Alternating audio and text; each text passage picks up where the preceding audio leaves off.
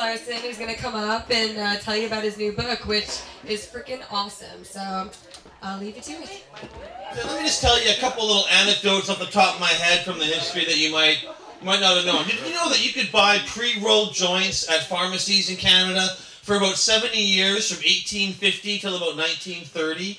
And that people were buying pre-rolled joints for medicine. They were getting tinctures and, and all these different cannabis extracts were available. But the very first person in Canada to get charged for possession of marijuana was a guy in Vancouver who was charged with possession of joints. And he said he bought them at a pharmacy for his hay fever. And the judge said, no, no, that's, that's a dangerous narcotic drug and gave him 18 months of hard labor. And that was the first guy.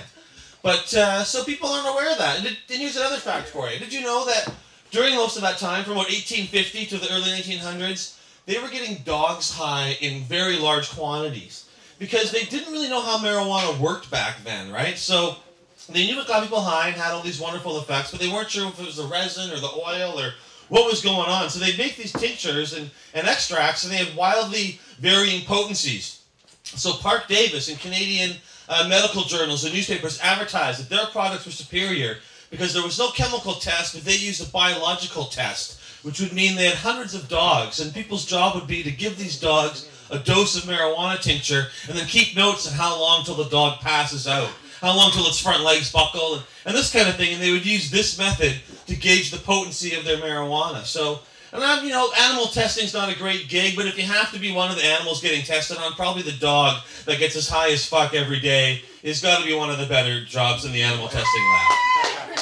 But uh, yeah, so there's a couple of fun stories, and like uh, earlier on in Canada, in the 16 and 1700s, uh, the British and French both were trying to grow as much hemp as possible as they could in Canada, uh, because they really needed it for their navies to keep all their boats going. They needed it for their ropes and their sails. And Canadian farmers didn't really want to grow cannabis because it was a lot of work and it was very difficult to do and took a lot of manual labor. So they would bribe them and push the prices up and try to do it, but it's the exact opposite of now, where we really want to grow a lot of cannabis, and the government won't let us. But for the first 200 years of Canadian history, it was the exact opposite, with the federal government bribing farmers to grow more cannabis so they could keep their boats going.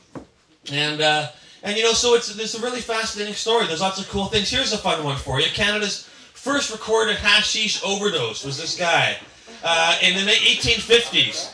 And there's a medical journal about it and uh, article about it. He said it's so because it was so rare they wanted to record this case of this hashish overdose. And we all know this guy. He was like, I've tried this a few times and I never got high. It doesn't work on me. It's, it has no effect. And his doctor was like, well, try this. And he gave him several grains of very strong uh, cannabis to ingest. And the guy had got super high and started freaking out and had like a panic attack. And, and uh, he, parts of it he said were ecstatic and he was floating around and having all these hallucinations.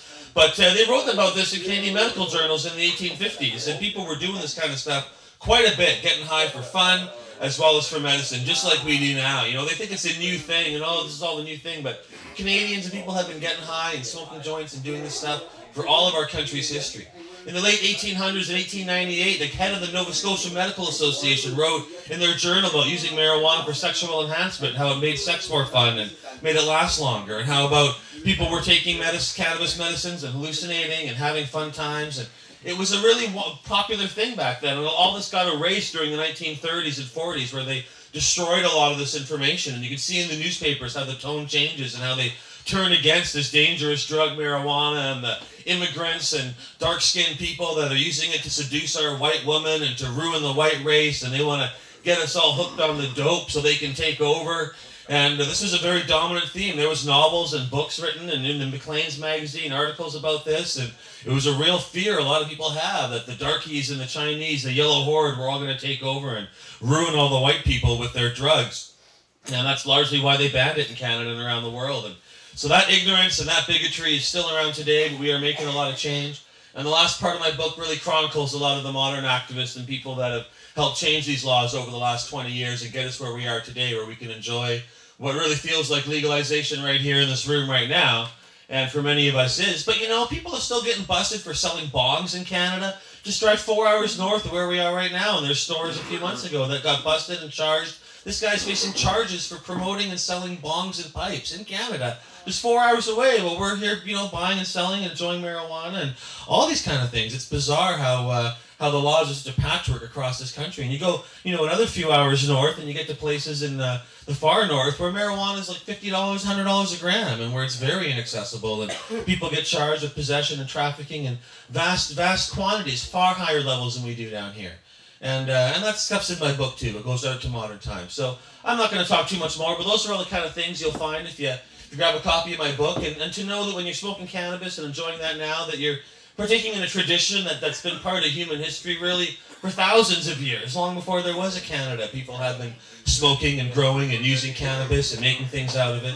And it's something, you know, for me, I've been in this cause for over 20 years, and it's been a constant uh, mind-blowing experience to find out all the wonderful things this plant can do. I mean, even if pot just got us high and made us feel warm inside and it had no medical benefits and you couldn't eat the seeds and you couldn't do, that would still be awesome. Like, just getting stoned is great. But the fact that the same plant also can heal us, can, can take away our pain, can make clothes that we can wear, can make seeds that we can eat, can have all these wonderful benefits in so many different ways from the same one plant, it's, it's really so remarkable. And I keep finding out new ways that cannabis can help us and heal us and new things that it can do. And so for me, it's been a never-ending voyage and, and opening dispensaries and seeing the, the people whose lives are changed by this in so many positive ways. And and uh, and you know it's it's been a hard haul, but right now we're on the verge of such massive change across Canada with dispensaries like Cannawide and so many others opening uh, all across the country, and this is going to continue.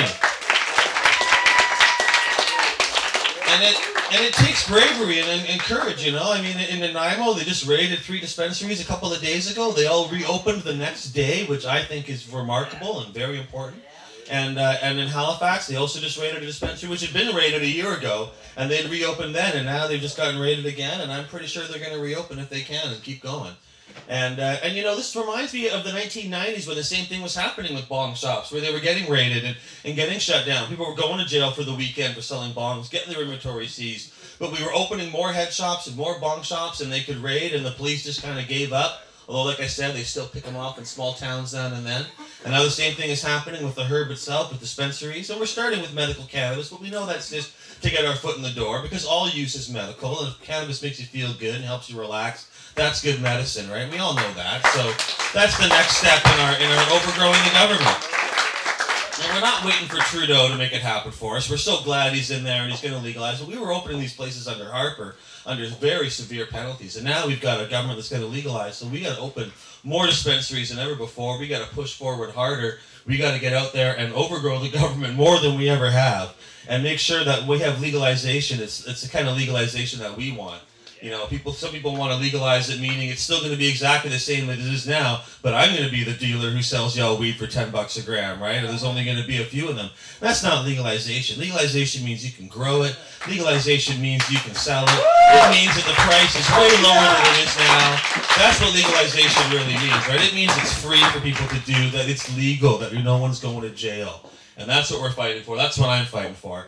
And uh, hey, it's been a great night, and I've had a lot of fun. And I'm at Cannawide all day tomorrow, so if you got any friends who want any books, I'll be down there signing those as well. And I got the fun book, The Green Buds and Hash, as well, my Dr. Seuss parody. And uh, that's got a little marijuana message. I don't know if I'm talking too long, but I'm going to say something about that Green Buds and Hash book, because I wrote that book as kind of a joke and a funny thing that I thought was just kind of cute. But so many people, and I didn't really even think about it for kids. I thought of it for grown-ups. But so many people are telling me they're reading it to their kids. Their kids sometimes are medical marijuana users who are children who need it for their epilepsy and other treatment, or their parents use it and they don't really know how to talk about it with their kids. And they read them my book, and it helps bridge that gap. And it's like something I, in retrospect, it seems obvious, but it didn't, didn't really even occur to me. And it's actually been quite moving. Some of these kids have sent me drawings of the characters, and you know, it's my daddy's medicine and stuff, and it blows my mind like how that that reaction is. And uh, so yeah, so there you go. And uh, I think I'm done talking. But if you want to chat more, come over to the table. I'm not going to be here till 3 a.m., but uh, I'll be here a while. But thanks very much, and thanks to Cannawide. Thanks. Thank you, Dana. Dana Larsen, you're awesome.